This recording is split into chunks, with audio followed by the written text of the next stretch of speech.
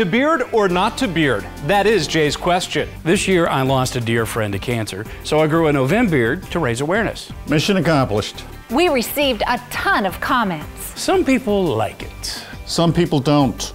Should it stay or should it go? Cast your vote at kake.com or the KAKE Facebook page. Vote no, Jay keeps the beard. Vote yes, and Jay will shave it live right here on KAKE News at 5 o'clock this Friday. Should Jay Prater shave his beard? Vote now at kake.com or the KAKE Facebook page.